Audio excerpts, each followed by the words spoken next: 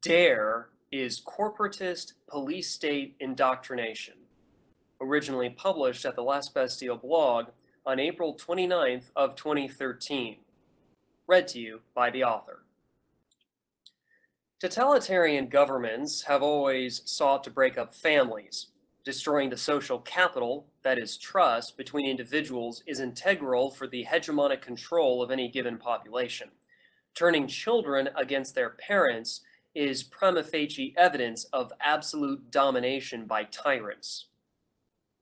Ever since President Richard Nixon's declaration of drug prohibition in 1971, Americans have been besieged with all sorts of disingenuous legal tactics that are emblematic of a police state, rather than what is supposed to be a free country.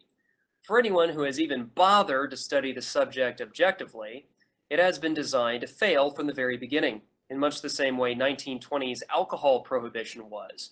The most damning proof of this are the skyrocketing crime rates and lucrative profit-making opportunities made possible by the very legal statutes mandating drug prohibition in the first place.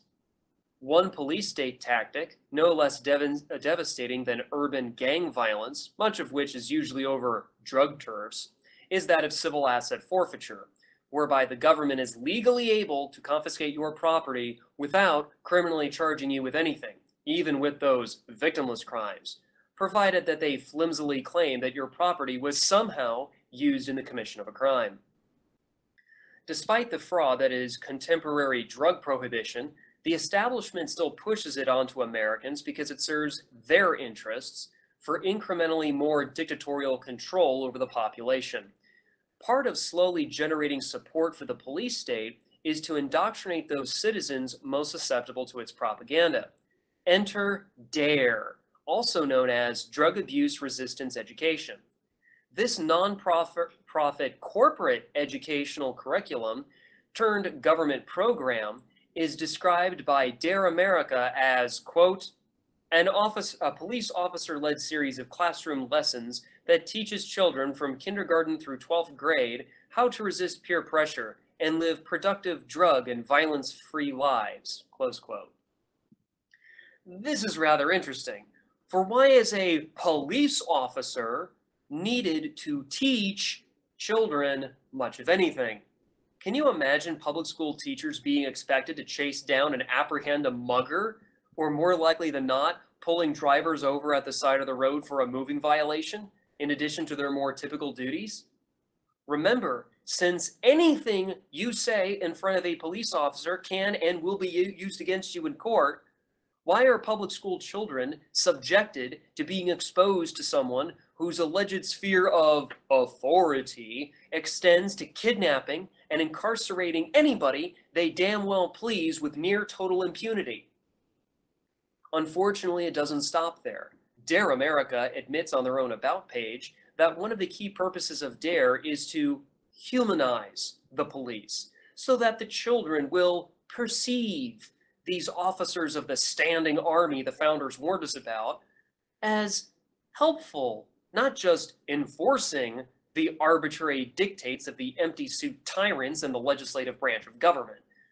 Since DARE is aimed at changing the normative attitudes of students, I think it is quite accurate to state that DARE socially engineers children. I think it's not only propaganda for statist drug prohibitionists, but it is also a way to turn children into informants against their parents. Consider the cases of Joaquin Herrera and Darren Davis snitching on their parents to the police. Interestingly, poetic justice is not without irony, for both Herrera and Davis personally suffered in the aftermath of their parents' arrests. Perhaps all of this police state indoctrination is worth it if it mitigates the illicit narcotics trade, right? Actually, wrong. Many studies and academic research papers have demonstrated that, at the very least, DARE is ineffective in deterring youth from experimenting with drugs, and at most, is actually counterproductive and thus worse than doing nothing.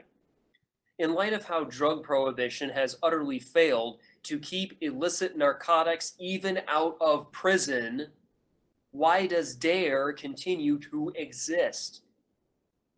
The most likely answer to this question lies in nothing more complicated than corporatism.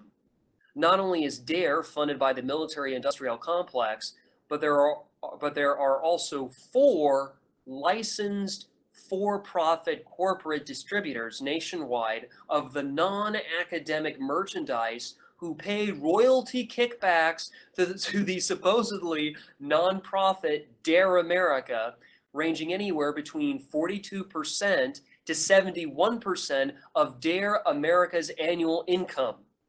This was revealed by their IRS 990 tax returns between 1992 to 1994.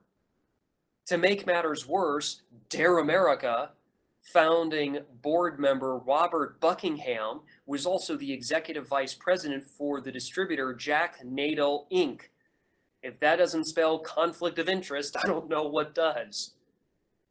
While there is a Texas DARE state coordinator, it would seem as if their mission of establishing, of quote, establishing a county community-based self-sustaining DARE program in every county in Texas, close quote, is thankfully not coming to fruition anytime soon. In 2004, the Travis County Sheriff dropped DARE, an annual evaluation report published by the Austin Independent School District in 2000 stated that, quote, during 1998 to 1999, the local DARE, Drug Abuse Resistance Education Program, which is the nationally known program of classroom instruction by uniformed police officers on the dangers of drugs and on ways to resist negative peer pressure, was discontinued, close quote. The Leander Independent School District has their own version of DARE, known as CAP, C-A-P-P, the Chemical Abuse Prevention Program, and the Round Rock Independent School District simply provides hyperlinks for people to visit on their own time outside of the classroom. Unfortunately, the City of College Station still actively promotes DARE. So what can be done about DARE in your local area? First, you need to determine if it's been discontinued or not, and if so, whether there has been a replacement drug abuse education program that is essentially DARE in all but name. Look for the telltale signs of officer-taught course material, encouragement for children to snitch on their parents, manipulative promotional advertising that would make Edward Bernays proud, corporatist kickbacks, and federal funding. Call up the local school district, the county sheriff, and any applicable city cops, asking them whether they have a DARE program. Depending on what you discover, perhaps it is past time for you to pull your children out of public school before they are tricked by those in government to snitch on you, thus ruining both your life and your children's future. You've just heard DARE is corporatist police state indoctrination, read to you by the author, and originally published at the Last Bastille blog on April 29th of 2013.